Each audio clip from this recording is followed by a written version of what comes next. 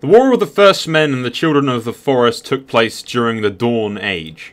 The Dawn Age was a period of undetermined length during which the First Men arrived from Essos colonized Westeros. From the beginnings of time, Westeros was populated by mysterious humanoid children of the forest, gifted with many supernatural powers, who for time uncounted lived alone throughout the continent of Westeros, except perhaps for the giants. They worshipped the nameless gods, aka the old gods of the forest, steam and stone, and lived off the land.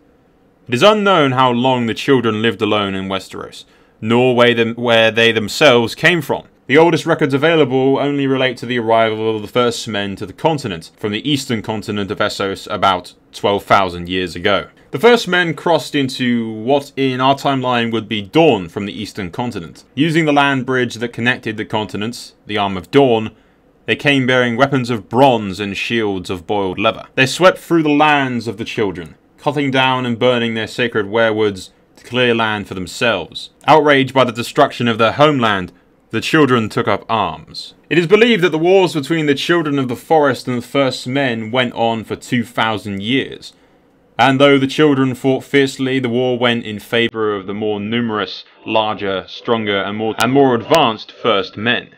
It is said that during the time the children used powerful magic in a futile attempt to end the invasion, breaking the arm of Dorne and sinking it into the sea. After the failed attempt to stop the invasion by sinking the arm of Dorne, the children of the forest turned to the northern sector of Westeros. The children of the forest called upon their nameless gods to send down the Hammer of the Waters to break the lands of Westeros in two, in a desperate attempt to stop the onslaught of the first men. Unlike the shattering of the arm of Dorne, the attempt on the neck was unsuccessful. The children failed and only succeeded in flooding the land, creating bogs and swamps. Why the children's magic failed them is unknown, However, the Cataclysm proved the strength of their power and may have been instrumental in bringing the first men to agree to terms of peace. Eventually, wise men from both races forged the pact at the Isle of Faces, marking the end of the Dawn Age and the beginning of the Age of Heroes.